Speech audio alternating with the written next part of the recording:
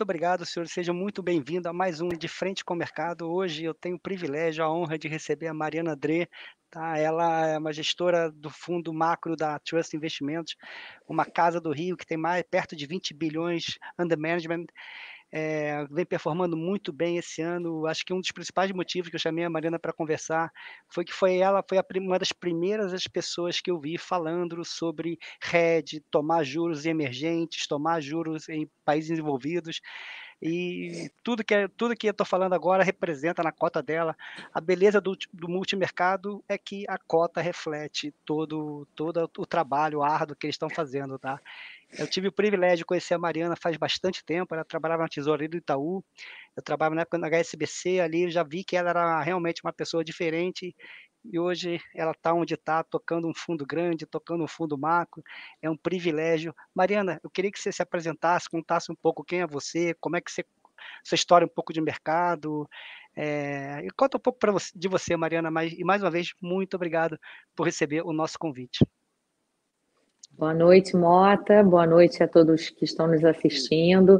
É um prazer enorme estar aqui. Em primeiro lugar, por poder uma oportunidade para falar com o nosso cliente, né, contar um pouco é, dos cenários que a gente está vendo na Trust, né, é, quais são as nossas principais teses de investimento, como a gente é, tem visto as oportunidades no mercado, como a gente pretende rentabilizar o dinheiro do cliente aí é, no horizonte visível, né. E o outro motivo curioso é que a Genial, ela patrocina o meu time de beat soccer, né, aqui no, no, Rio de Janeiro, no Leblon. Então, hoje a gente tem convidadas especiais, o time também está assistindo. Então, é uma coincidência e um prazer muito grande poder estar aqui hoje.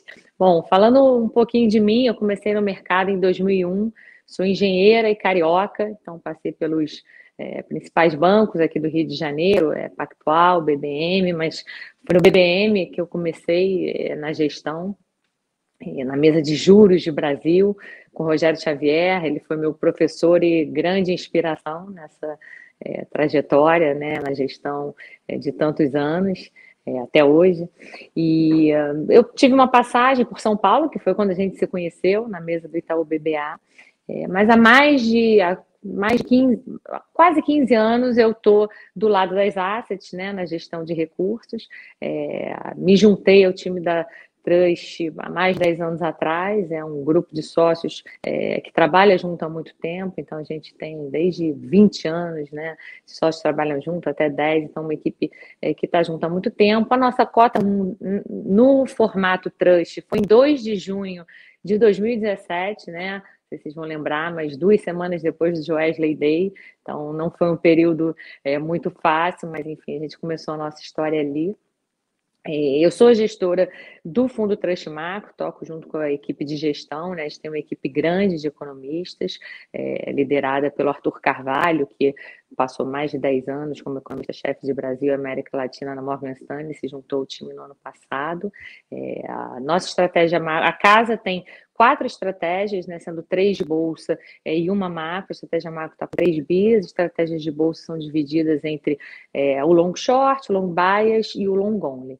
É, eu acho que essa é um pouquinho da minha história. Vou passar a bola para você para que possa levantar as questões aí principais, que, que a gente pode debater para contar um pouco aí do, dos cenários né, nessa nossa live. Tá, muito obrigado, Mariana. Primeiro, acho que o ponto que é super relevante reforçar esse ponto, tá? Acho que quando você decide escolher uma gestora, você tem que escolher o time, tá? Há quanto tempo essas pessoas estão juntas, quantas crises essa, esse, time já, já passou. Então, acho que isso mostra uma maturidade. Acho que a questão de gestão de risco, acho que é, é, é o dever fiduciário número um da, da, de uma asset, tá? Porque, afinal de contas, não deve ser fácil está sentada na cadeira da Mariana, administrando dinheiro de terceiros, tá? Deve ser muita responsabilidade. E o que é mais incrível que essa responsabilidade está vindo em dois anos seguidos, 2020 e 2021, anos completamente diferentes, tá? E nesses anos completamente diferentes, o time da Mariana, o time da Trust, todo mundo conseguiu entregar um resultado muito positivo, tá? Então é só para começar a, a, decifrar um pouco a, a tese, o que, o que, que, o que, por que, que a Trust nesse primeiro, nesse, nesse ano em 2021 conseguiu performar tão bem. Eu me lembro quando a discussão era juros de 0,50 ou 0,75, a, a Trust foi uma das, a Mariana, a Trust foi uma das primeiras pessoas a defender aperto de, de juros. Quando o mercado sequer sonhava discutir 200 pontos, eu via a Mariana é, reforçando a necessidade do BC acelerar, que estava fora do, estava bem para trás da curva. Então, Mariana, se você quiser contar um pouco qual foi o racional, por que, que a Trust procurou esses heads em juros e, e, e qual foi o racional e como é que contar um pouco da história da construção dessa cota que foi super positiva esse ano. E o que eu acho que o que mais interessa é contar um pouco daqui para frente, tá? Todo mundo está assustado com a volatilidade hoje, todo mundo viu o que, que aconteceu com o VIX, com o petróleo, com o mercado de juros. É, obviamente o evento mais importante que foi o evento de quarta de, do Fed, quando o Fed capitulou, o J. Powell capitulou, tá? Realmente jogou a toalha, apagou a mensagem de inflação temporária. Agora, tomara, Mariana, tomara que ele consiga conduzir esse transatlântico de forma eficiente, porque o mundo depende desse senhor, tá? Então, Mariana, se quiser contar um pouquinho, eu agradeço muito. Legal. Não, ótimos pontos. Eu acho que para começar a contar um pouco da história, né, da, da nossa performance no ano, acho que passa um pouco é, sobre como a gente vê o nosso produto, o Trust Macro. A gente tem uma cabeça muito formada, né, de que um fundo multimercado, ele não pode ter é, uma aderência muito grande a algum cenário específico seja ele né, é, sempre otimista lá fora ou sempre otimista em Brasil. Eu acho que a beleza de um fundo multimercado é justamente por ele dispor de uma gama de ativos nos mercados acionários, mercados de juros, mercados de moedas, é, para poder se posicionar em basicamente qualquer oportunidade no mundo inteiro, seja ela otimista, é, pessimista, né, é, comprada em dólar, vendida em dólar, comprado na bolsa, vendido na bolsa, é sem esse tipo de aderência. A gente viu um pouco é, um movimento no Brasil, né, que com uma queda das taxas de juros, uma certa euforia né, com a Bolsa, alguns multimercados com uma aderência muito forte, transformando praticamente em long bias, né, e alguns fundos long bias virando long only. Então, teve todo esse processo, a gente sempre teve é, muita calma nesse processo e a gente é, manteve é, a nossa característica fundamental, que é enxergar o multimercado justamente como um produto que, que num cenário adverso pode proteger o portfólio do cliente, né, um cliente que tem alocações é, já em bolsa, bolsa, né, ou, ou, alguma, alguma parte do patrimônio em juros, e no momento de dificuldade, como é o que a gente está passando esse ano, o multimercado, eventualmente, se for o caso, é, pode atuar como equilíbrio é, desse portfólio.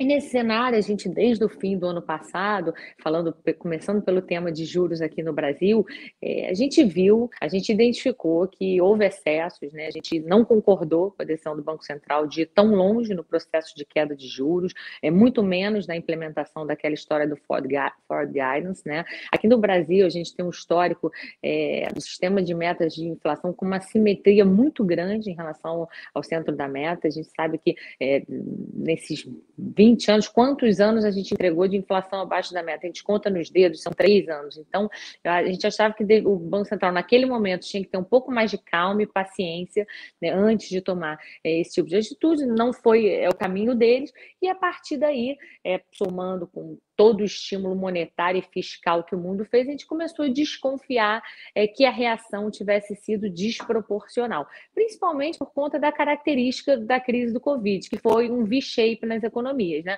Conforme você é, fecha tudo, as pessoas se trancam em casa, a economia desaba, e quando as vacinas chegam e, e as máscaras entram em circulação, a gente consegue voltar à mobilidade, as economias voltaram muito rápido. E com uma quantidade de estímulo exorbitante no mundo inteiro tanto desenvolvido como emergente.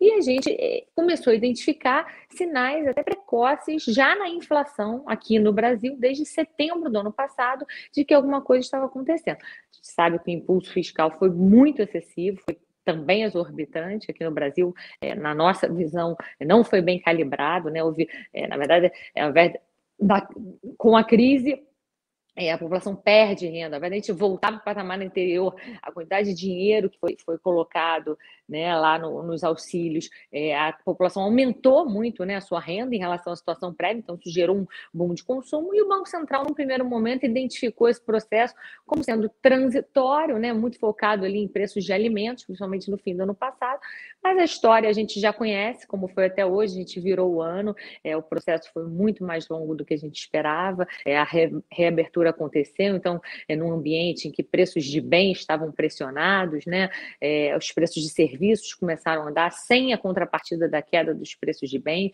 a gente tem o choque de preços de energias, né, de energia, seja na gasolina, seja na conta de luz, é, por questões de falta de chuva, etc. E o que a gente identificou foi que o Banco Central teria que rever esse processo de, de queda, de forward guidance, muito antes do que o mercado esperava, e nem o mercado é, estava precificando isso. Então, a gente passou praticamente esse ano inteiro é, bem tomado na parte mais curta de juros aqui no Brasil. O que, que é tomado na parte curta? Acreditando é, que esse juro que estava lá em 2% ia ter que subir é, muito mais rápido é, para algum patamar mais elevado, que a gente mesmo foi revisando para cima, né? conforme a gente é, viu a evolução tanto da atividade quanto, quanto, da inflação. Então, esse foi um dos temas mais importantes para a gente no ano, tá? Eu acho que um outro tema importante é a deterioração fiscal, é um pouco mais, eu acho que é, a gente está batendo o martelo mais recentemente com, com o abandono da âncora do, do teto de gastos, né? Com a reforma de precatórios está para ser aprovada no Senado, mas é um tema que a gente já também é, olha há mais de um ano, né? A saída da crise do Covid começou, a gente começou a desconfiar de que, de, de alguma forma, com o calendário se encontrando com a eleição, é, nosso arcabouço fiscal estava sob risco, então foi um tema também que se concretizou. É, grande parte do ano a gente também é, foi vendido aqui na, na moeda brasileira, né? É, um, um, outro tema foi é, o juro em muda emergente, né? Tiveram é, outros países que também é, seguiram, não tão cedo quanto o Brasil, o Brasil foi um dos primeiros, mas seguiram na mesma direção, né? A gente tem o México com um grande problema de inflação, é, ainda que com um board dovish lá no Banxico, está ajustando os juros. A gente tem um Chile com uma situação idiosincrática muito importante, que desde o protesto de 2019, né? É, a política lá tomou outros rumos, né? Era um país visto quase quase como um país desenvolvido aqui é, na América Latina e perdeu completamente a característica, está enfrentando nesse momento eleições presidenciais, o que eles fizeram foi promover muitos e muitos saques nos fundos de pensão, né? Então, isso estimulou muito a economia, a inflação subiu de forma muito rápida, o Banco Central lá é muito ortodoxo e reagiu ao contento, então a gente também é, participou desse mercado de, de taxas de juros é, mais altas no Chile. E um outro tema é, que a gente vem vendo é essa mudança também de rumo agora nos países desenvolvidos, porque primeiro se pensou que era uma situação de países emergentes que fizeram um estímulo fiscal, é, com menos credibilidade fiscal, com produtos potenciais mais baixos, e a inflação ia ficar circunscrita ali e não ia bater em países desenvolvidos. E o que a gente viu recentemente foi exatamente o que você falou, é sobre a mudança do Fed, que é, mudou o framework, é, é fez uma comunicação muito doce para lidar com, é, com essa inflação toda que a gente viu também nos Estados Unidos, é, caracterizou ela como transitória, carregou por muitos meses essa caracterização e agora, muito recentemente, é, o Paulo, mais especificamente ontem, abandonou né, a caracterização é, de transitória. Vários diretores é, do Fed, assim como o próprio Paulo, é, já sinalizaram muito fortemente que nessa reunião de dezembro é, o Fed vai rever é, o ritmo de tapering, né, que é, é, a diminuição daquelas compras mensais. Né, pensar que a economia americana está é, voando esse ano né, é, 5%, é, ano que vem vai crescer 3% alguma coisa, a inflação né, da meta deles é, tá, vai rodar até o meio do ano que vem acima de 3%, a meta deles é 2%. Então, o tamanho dos desvios foi tão grande que ele já realmente acho que acendeu é uma sirene, tocou uma sirene amarela lá no Fed e eles resolveram dar uma guinada muito violenta é, no approach que eles vinham fazendo para esse cenário, finalizando que vão é, parar de comprar esses ativos, né, mais de 100 bi por mês, muito mais rápido do que o mercado tinha e se desamarrando para possivelmente subir muito mais os juros do que o mercado imaginava. Então, é, olhando assim, é, dando um zoom out da situação, o que a gente vai viver daqui para frente é o oposto do que a gente viveu no ano passado. No ano passado, pós-Covid, o mundo inteiro é, deu muito estímulo monetário, caindo muitos, muitos juros e muito estímulo fiscal, e agora, após o início dos emergentes, o mundo desenvolvido também é, vai se juntar num processo completamente inverso, que é retirada, é, começando pela retirada de estímulo monetário. E quais foram os efeitos no ano passado? Né? É, o dólar se enfraqueceu a partir do meio do, do ano, o mercado super animado com crescimento é, global assim, forte sincronizado, né? e as bolsas subiram muito, principalmente lá fora. Depois a gente fala do caso de Brasil, né? enquanto o S&P sobe 20, é, o, a bolsa aqui, o EWZ, cai 20, mas é, é, um, é um caso difícil. Mas as bolsas globalmente subiram muito. Então, acho que o cenário prospectivo para frente é um pouco o inverso desse. A gente espera que o dólar vá se fortalecer, né, tem acontecido recentemente, e a gente acha um cenário muito mais desafiador para a Bolsa, inclusive para a Bolsa Americana. Ah, perfeito, Mariana. É, apareceu aí é, certas curiosidades que eu tenho desse mundo de gestão.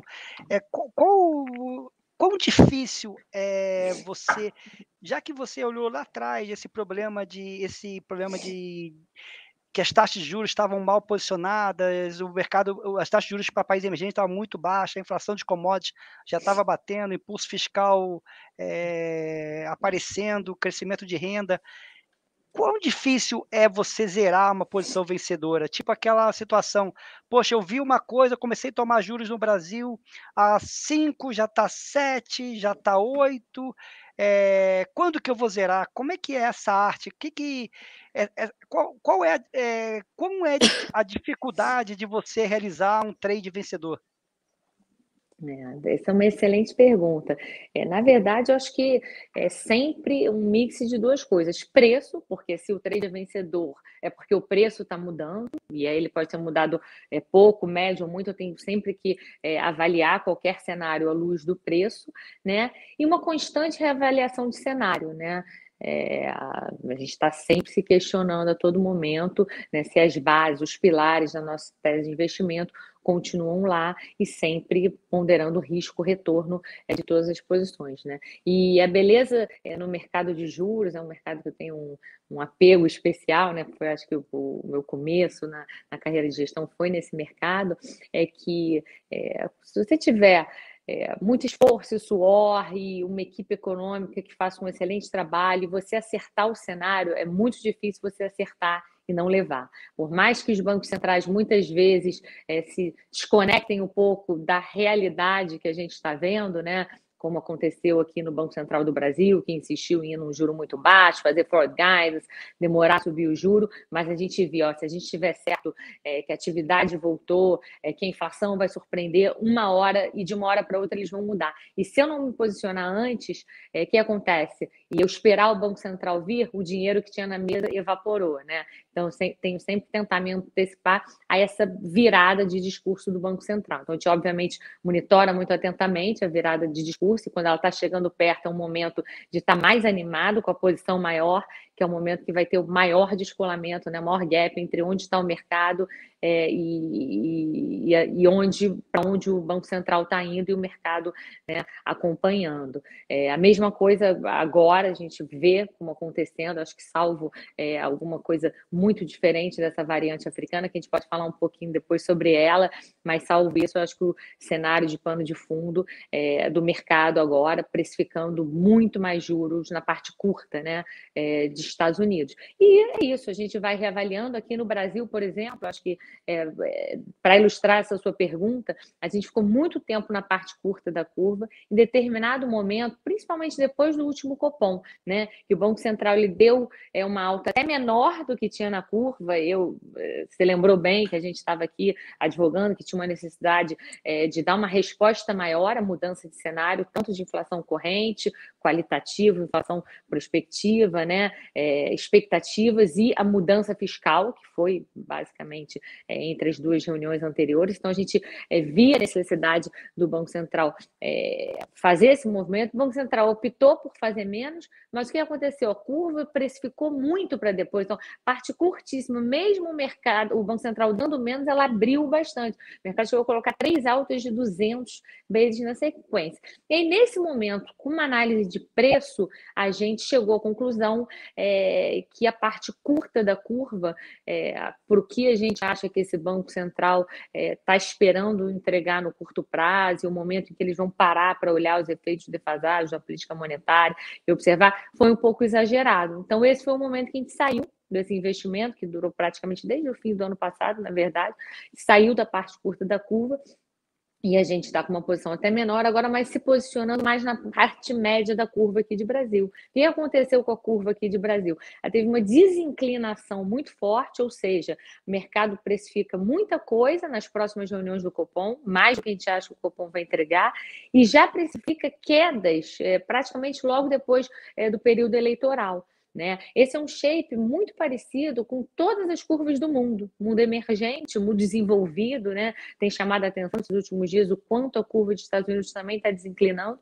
Só que a gente acha que o caso do Brasil é bem diferente. Né? É o grande problema que a gente tem aqui, apesar de eu é, discordar um pouco das duas últimas decisões do POM ou do que eles vão fazer é, na semana que vem, a gente sabe que 90% aqui é o fiscal. O BC fica é um pouco de passageiro, né? apesar dele ter o papel dele eh, muito importante, ele, ele foi um passageiro. É, então, o, a questão aqui é fiscal. E essa questão fiscal, é, na nossa visão, teve uma deterioração muito grande, não só corrente, né? A gente não está falando só sobre o quanto a gente vai furar o teto de novo com essa PEC dos precatórios. A gente está falando sobre que âncora eu tenho para frente, qual o regime fiscal para frente. Né? Eu vou fazer um ajuste é, pelo lado da receita? Parece muito difícil. Todas as medidas que eu vejo no Congresso são de aumentar é, desoneração, né? Eu vou fazer, eu vou voltar o teto de gastos nesse governo, ou se esse governo se reeleger, não parece ser o caso, né? E aí a gente empurra muito a discussão para o tema eleições, né? Que está é, aí um ano para frente. Quem vai decidir como é que vai ser o nosso fiscal é o novo presidente, a nova equipe e a capacidade deles é, de aprovarem as reformas no Congresso. Por exemplo, de reformas tributária e administrativa, eu diria, os dois principais. Então, a gente acha que isso por si só representa uma incerteza muito grande para o mercado é, não ter prêmio, não pedir prêmio para financiar uma dívida gigante que aumentou é, com, com a crise. É, pontualmente está tendo um período de alívio por conta de aumento de commodities e de inflação, mas que a gente sabe que vai voltar a subir rapidamente, né? é, com o crescimento que a gente tem hoje, com o nível de juros que a gente tem hoje e com a perspectiva de geração de seria superávit primário, mas déficits primários nos próximos anos, o Brasil já está numa trajetória de dívida explosiva. Então, a gente precisa interromper isso. Em 2016, a gente encontrou é, o a saída que foi o teto de gastos, que foi maravilhosa. O Banco Central conseguiu controlar a inflação, o juro de equilíbrio caiu, foi uma verdadeira festa. E tinha motivo para ser se a gente continuasse mantendo isso. Como a gente não tem isso, a gente precisa saber daqui a um ano é, se tem uma âncora no lugar ou se não tem, ou se a gente continua como está. Se não tiver uma âncora, o cenário é muito, muito negativo para o Brasil. E não vão ter quedas nos juros, vão ter mais altas, a gente pode, é, muito provavelmente vai estar em dominância fiscal, a inflação vai acelerar muito, variáveis nominais como a nossa moeda podem sofrer muito, né? Lembrando que a Argentina em 2013, 14 tinha um câmbio parecidinho com esse nosso atual, agora é, no paralelo é 200, né? A Turquia, nessa mesma época, era 2, está em 13. Então, assim, é um cenário é, que não está totalmente fora do jogo. Se a gente não resolve esse, esse problemão é, nesse horizonte, a gente entra nisso. É, e tem, claro, é, é, ter op opinião de eleição um ano antes é uma coisa quase temerária, e tem uma opção de a gente arrumar uma terceira via uma saída, e aí sim. Então, a gente acha que tem esse descompasso na curva e a gente é, mudou de posição. Acho que isso é um exemplo que explica como reavaliar né, sempre preço preço e cenário para o posicionamento do fundo. Tá. Perfeito, Mariana. É, duas coisas me chamam um pouco a atenção, tá? Primeiro, é, até tem uma pergunta sobre expectativa da, da, da, evolução da relação dívida-PIB. Você já deixou um pouco um pouco o cheirinho da sua da visão da Trust. Vai ser muito em função se a gente vai retomar uma nova âncora fiscal, se a gente vai ter meta e superávit, quem vai levar esse tema mas e como é que você vê a fotografia da, do, dos nossos números fiscais? Poxa, eu vi os números de superávit primário, 28 bi no mês de outubro, o número que saiu ontem, a gente está com déficit primário de 0,2 do PIB. Eu tô, tô bastante esperançoso, Mariana, que a gente vai fazer um superávit primário no ano de 2021 e deve ser um, um dos únicos países do mundo que vai fazer um superávit primário no meio de, dessa pandemia que, infelizmente, ela tem e não nos abandonar.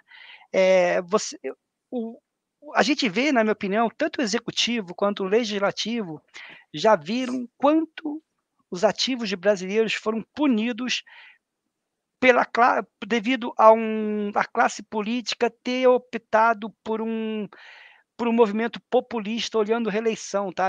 A classe política pegou um macaco hidráulico e alargou o teto, mas tirou a gente, infelizmente, de um juro nominal que a gente estava trabalhando de 7, 8, para uma coisa de 12. Eu que achava que nunca mais havia um juro de dois dígitos no Brasil, essa é a nova realidade.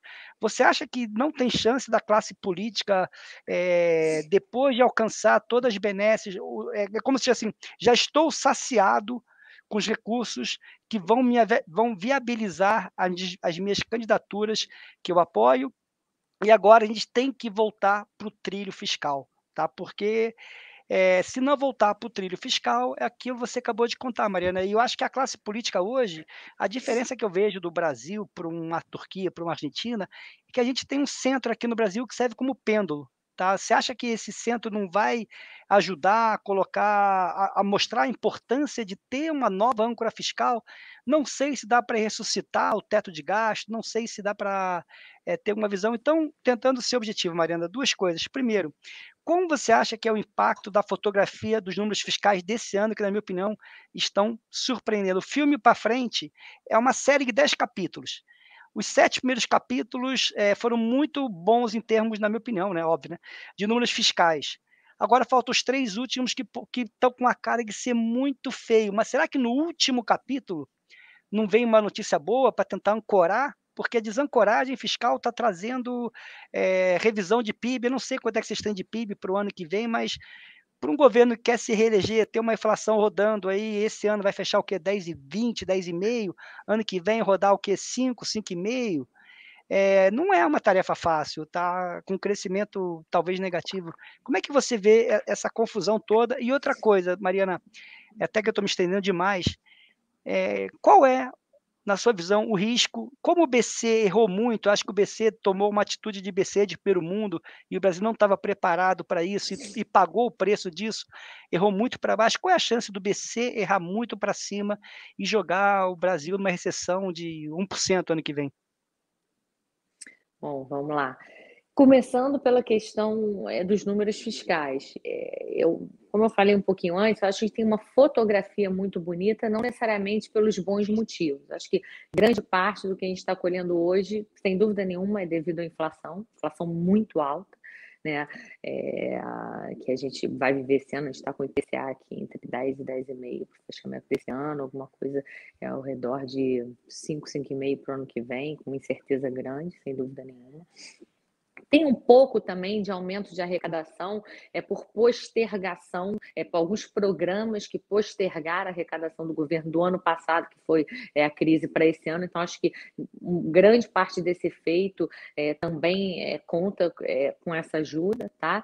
É, de todo modo, é, a gente tem que assumir que a gente esperava que essa dívida PIB fosse ter um ponto de partida é, bem pior do que a gente está tendo. Isso é verdade.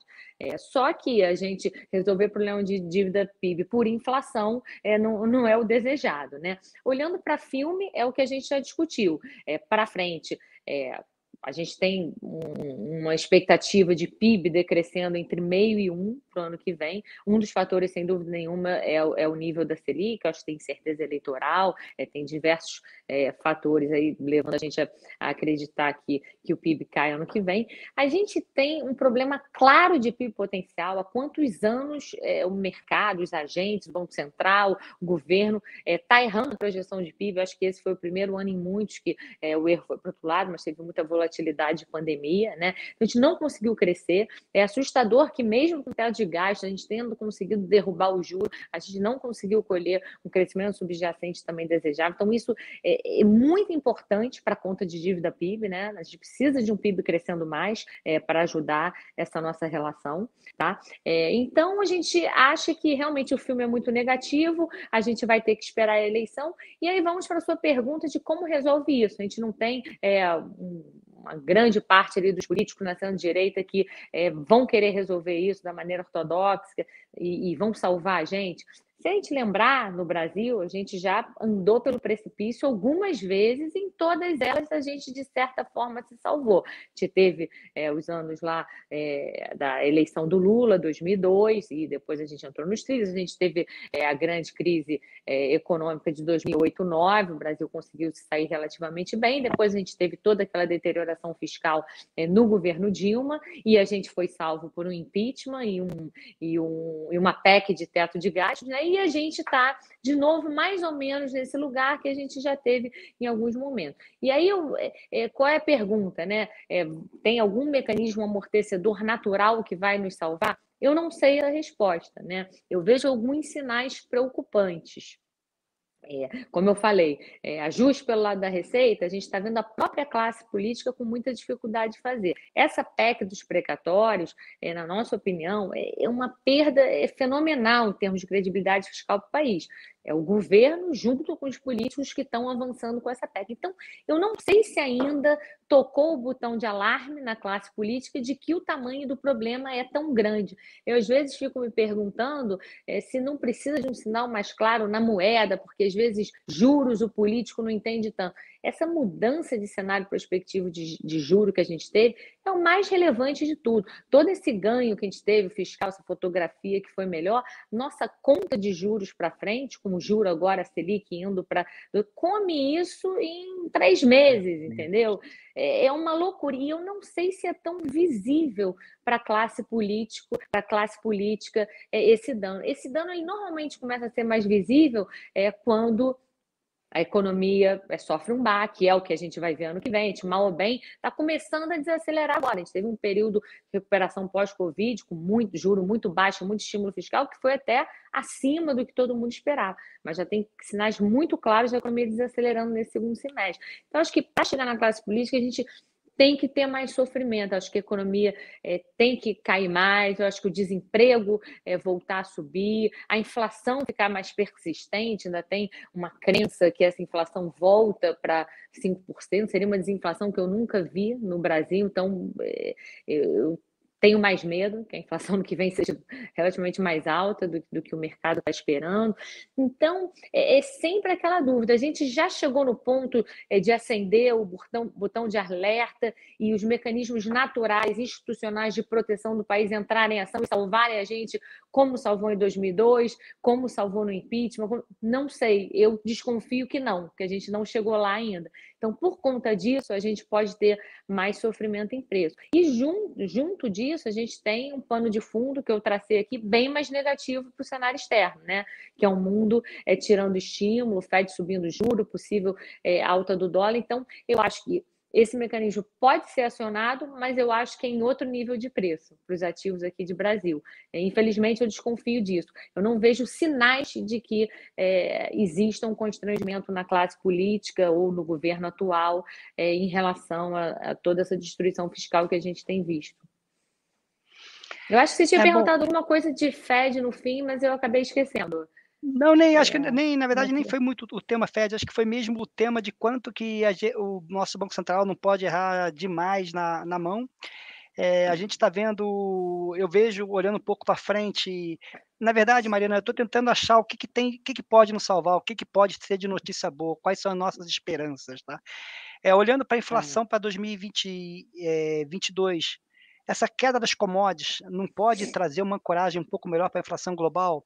A questão da, da crise hídrica, graças a Deus, é, São Pedro está nos ajudando. Se a classe política não está nos ajudando, pelo menos São Pedro está nos ajudando. É, a, a, gente pode ter algumas surpresas agradáveis, é, agradáveis não foi a palavra correta, menos ruins em termos de inflação, que é o que, na minha opinião, pode acabar ajudando a ancorar um pouco as expectativas de inflação, tá? É esse que, que é o meu contra-argumento em relação a alguns pontos que você colocou. É, a minha visão que, que, que você colocou, Mariana, é tipo ainda não chegou, ainda não bateu na classe política, tá? É, se isso for verdade, realmente a gente tem que, a gente vai continuar sofrendo mais até a classe política dar alguma contrarresposta. Acho que esse que é o ponto essencial dessa brincadeira toda. É. E o fato do Brasil voltar a ser o maior, será que o Brasil voltou a ser o país do CDI?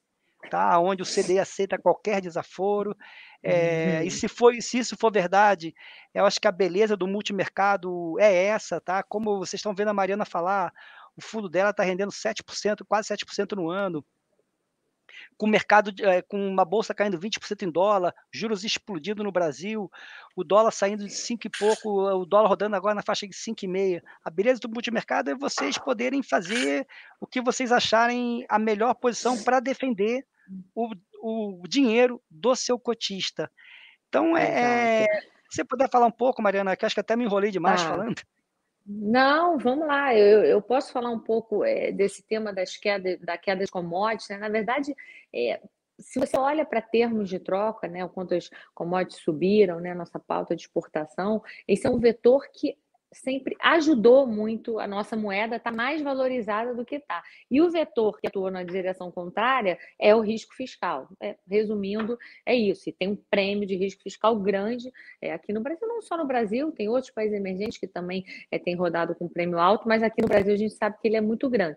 Então, um processo de queda de commodities por um lado, se o câmbio ficasse parado, por um lado eu poderia ter um alívio, né? Preços de combustíveis, enfim, é, outros preços na cadeia, nas cadeias produtivas.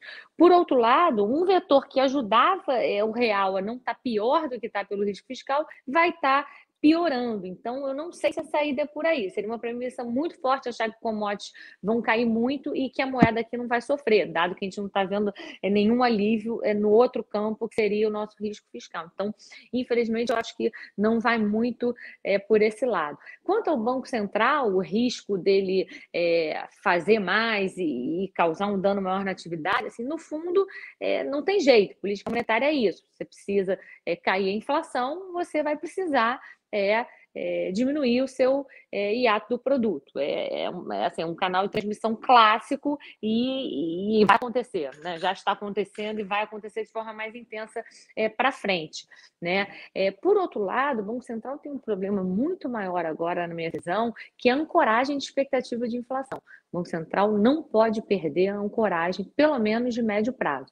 E o, e o processo que a gente está vendo, é, na minha opinião, muito preocupante. Ele se assemelha um pouquinho ao processo que aconteceu em 2016, é, na época do Tombini, né? A gente viu inflação muito alta em 2015, que eu comparo com o ano atual, que a gente está, 2021, inflações na casa de 10%, né? É, o ano seguinte começa a desancorar, Claro que o Tombini ele tinha uma desancoragem é, estrutural já de quase um ponto para o centro da meta, para o horizonte relevante inteiro, uma coisa que esse Banco Central é, não tem, é, pelas razões é, que a gente sabe. É, mas o ano seguinte ele começa a andar em algum momento e a preocupação é que o ano de 2022 está começando a andar num ritmo muito rápido que está chegando naquele processo de desancoragem do que a gente viu em 2016, é, e o ponto mais preocupante é o nosso 2023 hoje, que eu comparo com o 2017 lá do Tombini, que esse sim a gente ainda está melhor do que a gente estava lá atrás, lá atrás tinha uma desancoragem maior, mas ele começou a dar uns sinais de querer sair ali. E eu acho que o BC não pode perder isso. Na época, a gente teve tem até um exemplo que eu comparo bastante. O Ilan assumiu o Banco Central, em 2016, né, depois do impeachment, é, e a meta estava bem desancorada para 2017. Muitos economistas importantes aqui no Brasil falaram que ele, falavam que, ele, que ia ser impossível atingir, fazer uma desinflação tão grande, que ele tinha que fazer meta ajustada. E o que, que o Ilan fez? Falou que ia cumprir a meta de 2017, que ela era desafiadora e crível ao mesmo tempo, ou crível e desafiadora ao mesmo tempo. E ele conseguiu, com persistência na política monetária, e foi muito, vamos dizer, rocks no início do ciclo, ou seja, tudo já apontava para alguma desinflação, ele demorou a cair o juro, então ele fez uma ancoragem. É excelente das expectativas e conseguiu trabalho no fim. A inflação de 2017 foi até bem abaixo do centro da meta. E eu vejo, fazendo paralelo é, com o que a gente está vivendo agora, a gente está numa discussão inversa, que é o Banco Central está abandonando 2022, né? Está dando um peso maior para a inflação de 2023, que é um processo inverso do que o Ilan fez. O Ilan se manteve firme, é claro que ele tinha é, o teto de gastos caminhando do lado dele, e agora a política fiscal está atrapalhando o trabalho do Banco Central. Mas do ponto de vista de credibilidade da autoridade monetária, é, você eventualmente rolar o seu horizonte de convergência para frente, para mim, é algo muito danoso. Então, o Banco Central está nessa encruzilhada entre puxar muito juro e derrubar mais essa economia, que foi a sua pergunta, e entrar num processo de desancoragem mais importante das expectativas de inflação. É, eu temo é, que eles, é, nesse momento, estejam optando um pouquinho é, pela segunda opção. Vamos ver a decisão do Copom. Não acho que tem aceleração de pace. Eles têm mirado muito falar que a comunicação é sobre o tamanho do ciclo e menos sobre o pace. Só que o tamanho do ciclo, quantas vezes a comunicação futura do Central já mudou aqui, né? É, teve Ford Guidance, é, eu ia é, subir o juro menos, depois acelerei. Então, acho que as ações correntes sempre têm muito mais peso é, sobre essa ancoragem é, de expectativa. Então, acho que a gente está num momento aí super crítico para o Banco Central, é, nesse binômio, né? Atividade, ancoragem de expectativa, e, enfim. É, eu acho que você tinha falado outro ponto, mas como a pergunta ficou um pouco longa e a minha resposta também eu acabei esquecendo. Não, mas sem problema, Mariana. Na verdade, é, eu fiquei aqui um pouco como advogado diabo para tentar ver o que, que, poderia ter, o que, que poderia enfraquecer a, a ah, tese de sim. você. Claro, não, então vou fazer um link. Como eu não vi é, esse, essa queda de commodities como uma notícia positiva, como eu não vejo a situação do Banco Central como uma notícia positiva, e nem vejo a situação fiscal corrente, o que, que e nem vejo o cenário externo muito bom, o que, que pode nos ajudar? Sem dúvida nenhuma, é a eleição.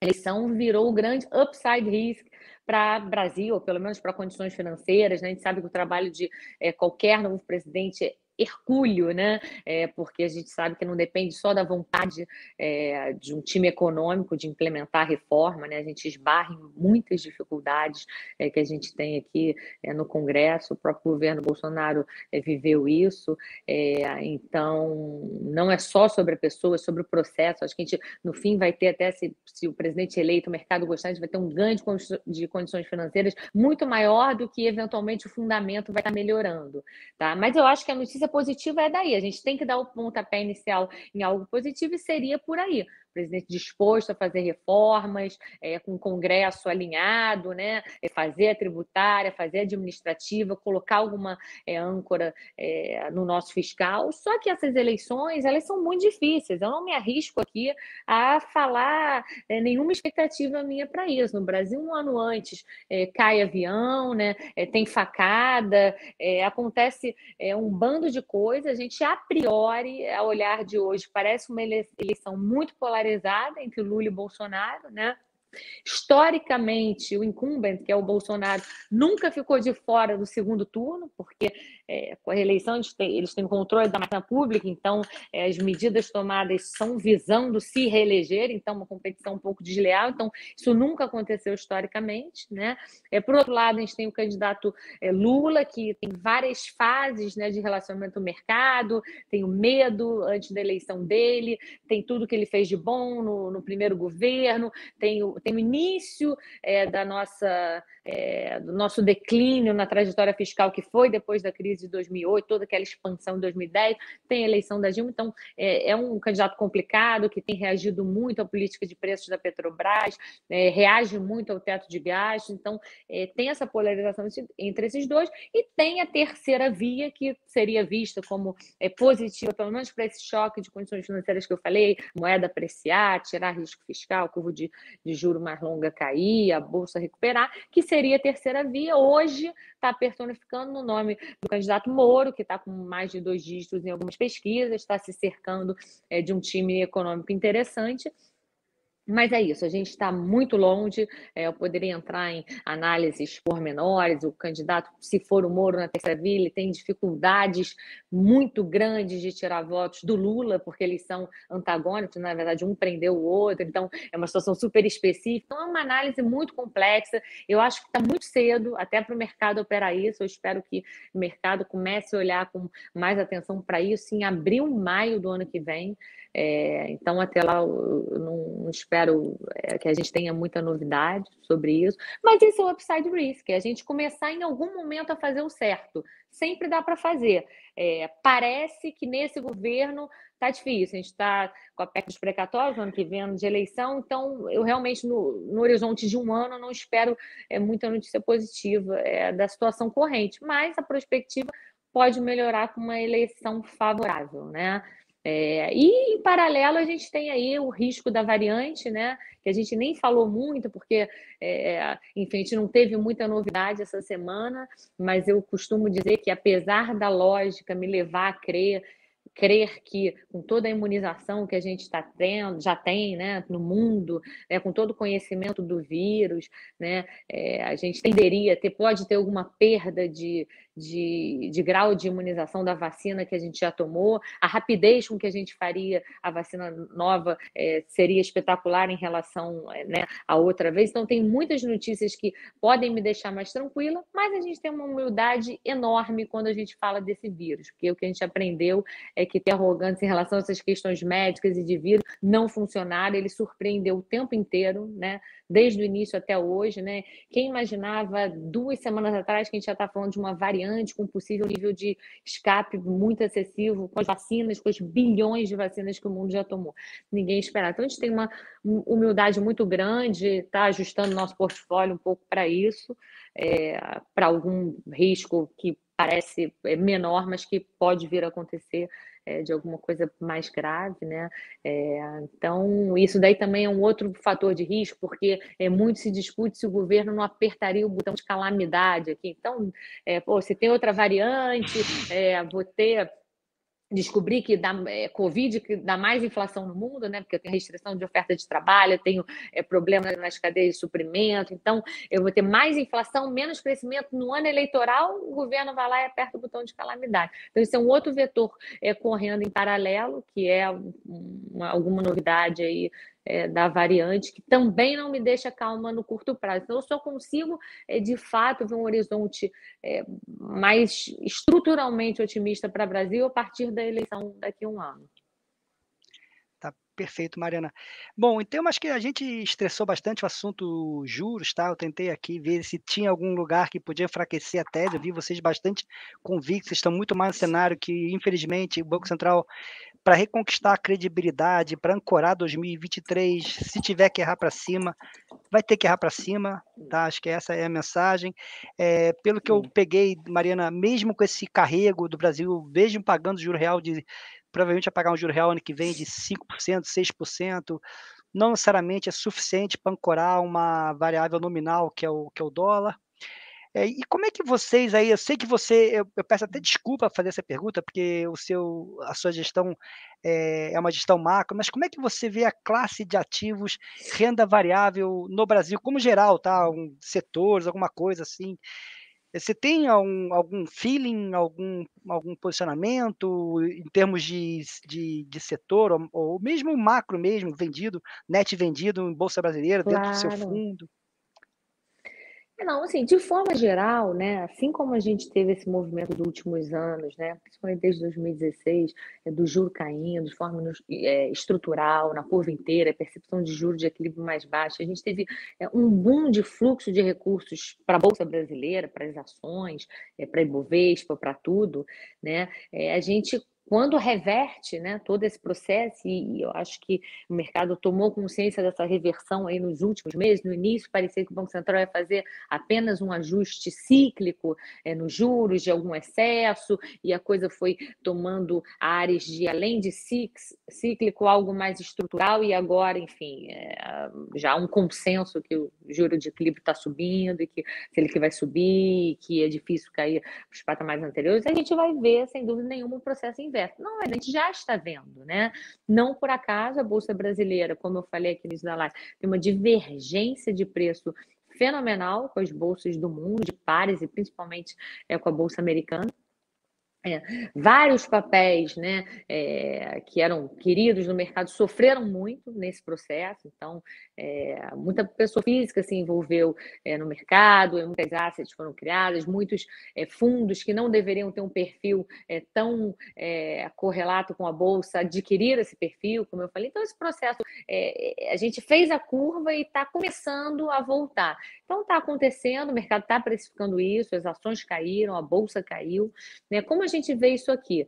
É, a gente tem uma equipe de analistas aqui muito extensa, que gera muito alfa é, aqui em Brasil há muitos anos. É claro que o período recente tem sido mais desafiador até para gerar alfa, mas a gente acha que, sem dúvida nenhuma, você pode ter uma carteira de ações, né? É, que você vai gerar alfa. Em, é, no momento, lá no Trust Macro, a gente defende essa carteira é, tentando neutralizar o risco macro. A gente vende BOV, já comprado em dólar, a gente é tomado na curva de juros. Então, é, a gente tem os nossos mecanismos de proteção, mas a gente acha que a geração de alfa ela existe em todos os cenários. Isso, se a gente olha o histórico é, longo de geração de alfa, a gente vê que a gente consegue navegar vários, vários cenários é, e, e, conseguindo ainda capturar. Como isso? Olhando para setores que podem se beneficiar, olhando para aquela sua pergunta lá atrás, que é preço. Eu tenho um cenário muito negativo, mas eu posso encontrar no universo imenso de ações, ações que têm o preço que já me é, dão uma simetria muito boa falando de um setor que a gente gosta aqui, a gente gosta do setor de petróleo, a gente gosta é, do, do, tema para preço de petróleo para cima, atividade do mundo muito forte, o PEP é, segurando o preço lá em cima, a gente gosta do setor. Petrobras né, tem um risco político fenomenal, é muito grande, obviamente, com eleição, mas é uma empresa que, com petróleo nesse nível, com o preço que ela está, ela pode me pagar antes da eleição 40% em dividendos, 40% do market cap dela em dividendos. Então, assim, eu já parto com é, né, alguma vantagem ali, alguma coisa é, grande, um ano eu já levei, que não é qualquer empresa que você encontra isso. Então, uma empresa que é nesse universo a gente gosta. PetroRio, outra empresa do setor de petróleo, que, por outro lado, você foge mais do risco político em relação à Petro. Então, a gente gosta muito é, desse papel. No setor de serviços financeiros, tem muitas empresas com management maravilhoso, ainda com potencial de crescimento muito bom, a despeito é, do cenário macro, que estavam com múltiplos muito altos e sofreram muito, a gente acha que são bons pontos de entrada, né? Setor de consumo, a gente gosta de pets. Então, a mensagem aqui é que, como tudo, né? É, eu falei que a gente pode estar posicionado para o bem ou para o mal, a gente está sempre olhando o preço, mesmo na Bolsa, num cenário macro adverso, o universo de, de papéis disponíveis né, é tão grande, você tendo uma, uma equipe de análise é tão grande, coesa, trabalha junto há tanto a gente consegue garimpar e montar uma carteira que a gente tem confiança que no médio prazo é, vai conseguir dar bons retornos para a gente. É claro que, como eu falei, é, com uma cabeça macro mais negativa, a gente tem feito hedges e, e tem é, protegido essa carteira, buscando extrair o alfa e deixando um pouquinho nesse momento de lado o beta que a gente acha que está muito perigoso. Perfeito, Mariana. A gente já está já está encaminhando relativamente para o fim. Aí tem, dois, tem dois pontos que eu queria que, que, eu, que é uma dúvida que eu tenho, tá? A, é, voltar para o tema, acho que é o tema que vai ser o motorista dos ativos de risco ao redor do mundo. Como é que vai ser essa política monetária daqui para frente dos Estados Unidos? E, Mariana, você vê o mundo tendo que voltar a pagar juro real positivo nas, na, nas economias desenvolvidas? É, o juro real negativo é de menos 6, menos 5, menos 3, mas você chega que pode chegar ao ponto de ter, ter que ter juros reais positivos nas economias desenvolvidas? É, e seria um estrago aqui para os emergentes. É, essa pergunta é bastante difícil. Se você olha o movimento que o mercado está fazendo, apesar dele colocar uma expectativa que o Fed vá muito mais rápido no curto prazo, o juro real longo, vamos dizer, o de 10 anos, não está conseguindo sair de menos 1%. Então, qual é a mensagem que o mercado está passando? De que pode ser um erro de política monetária. O Fed é, correr atrás dessa inflação e subir muito o juro nesse momento. Então, a gente acha que tem é, dois movimentos aí, né? Um movimento, que é o que a gente tem mais confiança nesse momento, que é o mundo inteiro, primeiro mundo emergente, agora o mundo desenvolvido, é, se tocou que a quantidade de estímulo adicionada para a característica da crise que foi a Covid, foi totalmente desproporcional, gerou várias distorções nas economias, gerou problemas em oferta de mercado de trabalho, gerou é, problemas nas cadeias de produção, gerou uma inflação que para a gente é muito mais de demanda do que de oferta, do que problema de oferta. Né? Se você olha é, a preço de energia subindo, é isso. A demanda por tem tanto dinheiro na mão da população, a demanda por bens é tão alta que a atividade industrial tem que aumentar para produzir esses bens. Então, eu vou consumir mais energia. Então, uma inflação muito de demanda. É, a gente já vem mapeando esse tema há vários meses. O Fed, por conta do novo frame, por conta do risco de desancoragem de expectativas mais longa, ficou por mais tempo, até do que a gente esperava, aderente à tese da inflação transitória e no corpo mole que eu vou demorar a subir, mas as notícias das últimas duas semanas vindo do Fed são muito relevantes, na nossa opinião, é, no sentido de mostrar que eles tomaram a decisão de sair é, desse, desse excesso de estímulos. Então, a gente acha que essa parte curta da curva tem muito mais a precificar em relação ao que tem aí, vamos supor, tem oscilado por conta de risco de Covid, mas alguma coisa entre 5 e 6 altas é, para o total dos próximos dois anos, a gente acha que pode ser muito, muito mais rápido do que isso.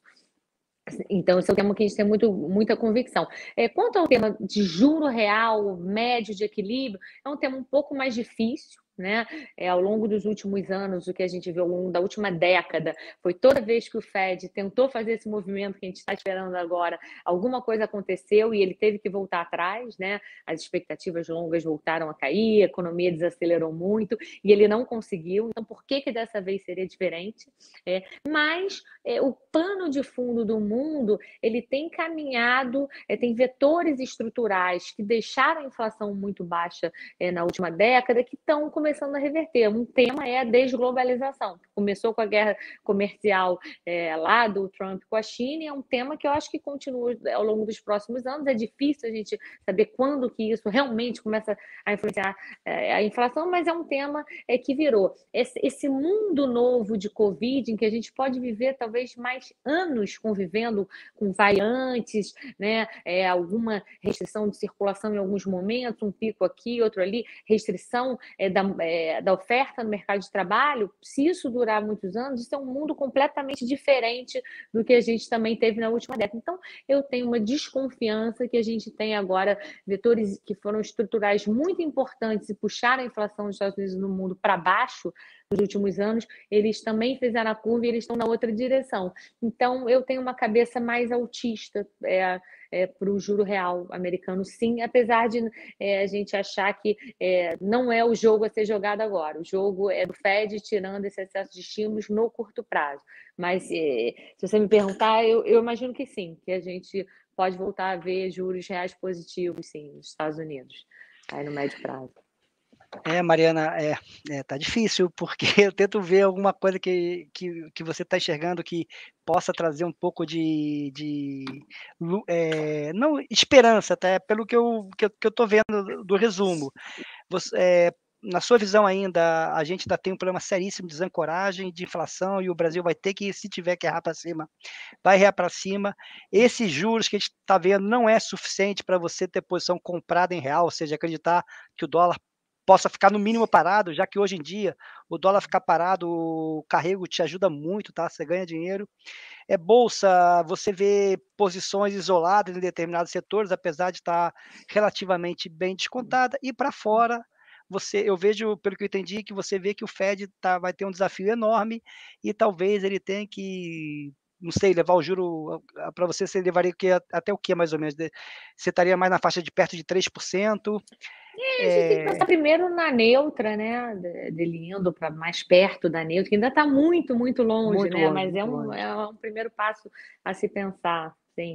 É, a questão do real aqui, sem dúvida nenhuma, a gente tem muito mais carrego, mas tinha muito carrego também na época é, da Dilma, juro, era 14, e nem assim o real não desvalorizou todos os anos. É claro que é um buffer, talvez para movimentos mais agudos, mas a gente tem que lembrar que esse carrego é nominal real, a gente não está tendo carrego nenhum. A gente está com muita inflação para esse ano, para frente, na curva de NTNB toda com inflação acima de 6%.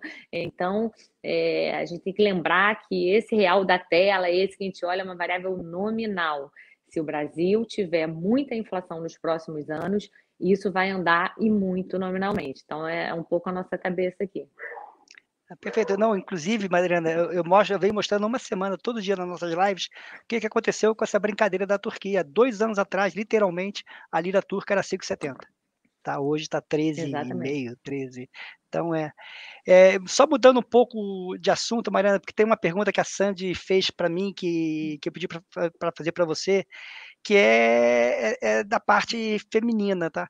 Como foi você entrar no mercado muito estigmatizado, muito masculino? Como é que foi as suas, as suas primeiras impressões, sentar numa mesa onde devia ter o quê? 90% das pessoas do sexo masculino? Como é que ah, você 98 via aquilo? no início. 98. Não, mas também você fez, fez, fez engenharia também, você já deve estar um pouco acostumado com essa... Engenharia, sim. é. Não, legal, boa pergunta. É... Bom, eu não sei se eu, se eu tive sorte no meu caminho de encontrar pessoas que é, sempre me trataram de igual para igual, sempre é, fui por um caminho é, da dedicação, é, do suor e sempre me igualei na postura, então é, o que eu colhi foi sempre um tratamento igualitário. Como eu falei, eu comecei no mercado, no BBM, na tesouraria do BBM, né, com a equipe do, do Rogério Xavier. Então, assim, experiência lá é, foi muito boa. Eu sei que é um grande desafio, e na época era talvez eu era única, né? Então nem sei qual o percentual, quantas pessoas tinham ali para te dizer o percentual.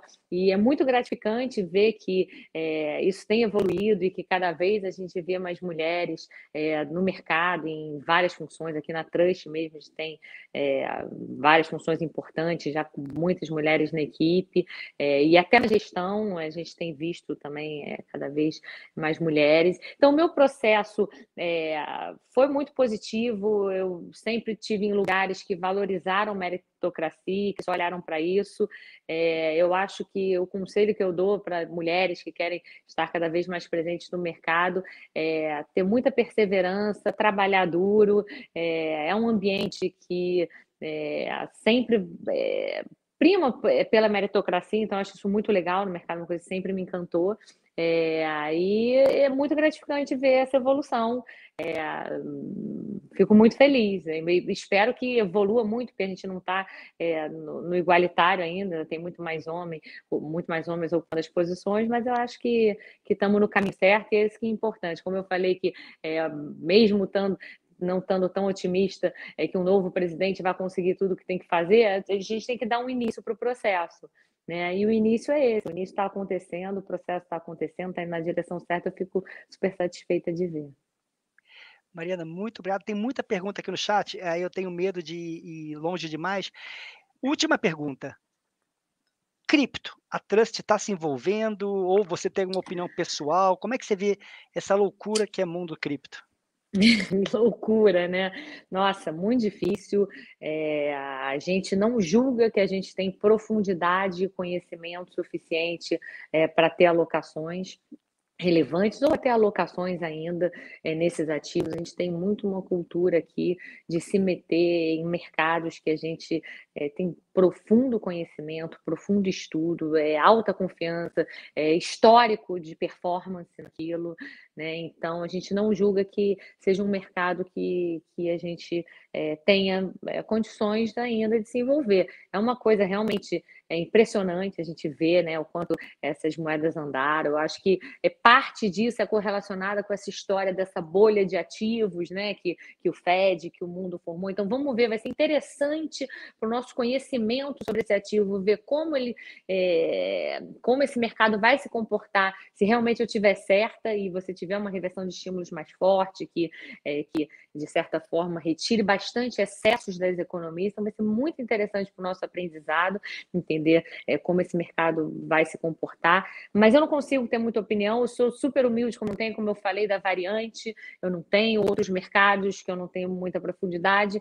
Criptomoedas, eu não tenho muita opinião, é um mercado muito abstrato ainda para a gente. A gente, obviamente, está é, tá sempre estudando é, todas as oportunidades e ativos e tudo do mundo, mas a gente ainda não se sente pronto para participar de forma relevante.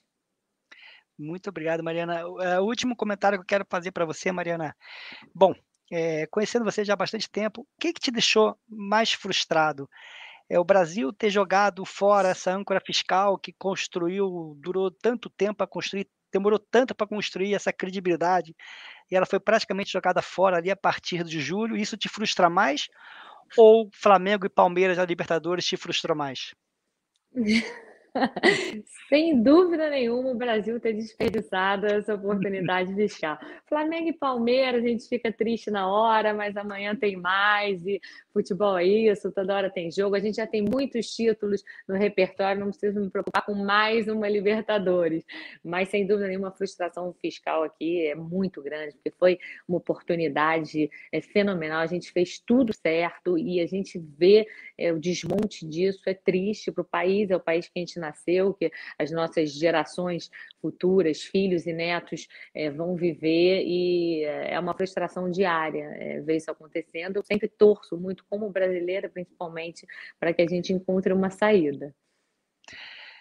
Mariana, eu faço as suas palavras as minhas, já, o meu grau de frustração. A gente aqui na, na, em julho, a gente começou a dar call bastante de viés negativo nas lives. A gente criou o tema agosto, mês do desgosto, porque ia ser o início da discussão do, do orçamento, e a gente está nessa discussão até início de dezembro e nada foi definido. Mariana, eu queria agradecer enormemente o tempo que você dedicou a, a, a, a, gente aqui na nossa live. Poxa, hoje foi um dia extremamente difícil, acho que foi um dos dias mais voláteis do, de muito tempo. A gente viu o VIX caindo 5, subindo 10, petróleo subindo 5, caindo 1,5, e você está aqui conosco até 8 horas da noite. Eu queria, de fundo do coração e em nome da Genial, agradecer enormemente a sua presença, agradecer a Trust pelo, pela, pela performance dos seus fundos, a gestão do, do da equipe macro, da equipe de equity também, é um, vocês são um case de sucesso a performance de vocês fala por si só, tá? Eu queria agradecer enormemente. Mariana, se você puder falar o nome do seu time de futebol da, de areia, que a Genial patrocina, tem muita gente curiosa, porque tem muito carioca nessa ah, live. Carioca Beat Soccer. A gente treina ali no Leblon em frente a Bartolomeu Mitre, é um timão. Não vou nem te contar qual é o meu apelido no time, porque o Flamengo não ganhou a Libertadores, então não vai cair muito bem, mas é Marigol. É. Gabigol e Marigol. Pois é, então tem que ralar no mercado e ralar lá também para fazer os gols.